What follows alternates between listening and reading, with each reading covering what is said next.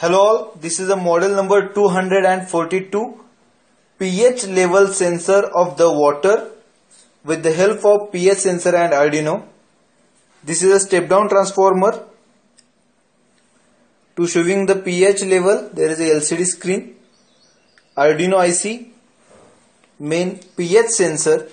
And for demo purpose we have put here a water contain sodium tetraborate then water contain phosphate and then water contain potassium hydrogen phthalate. We will check the pH level of each water level. Now it contains the sodium tetraborate and it shows the pH level 6.38 then it contain the water contain the phosphate and it shows the pH level 4.35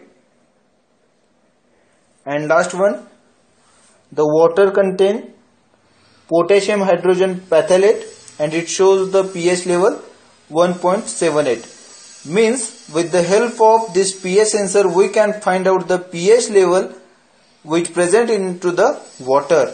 Thank you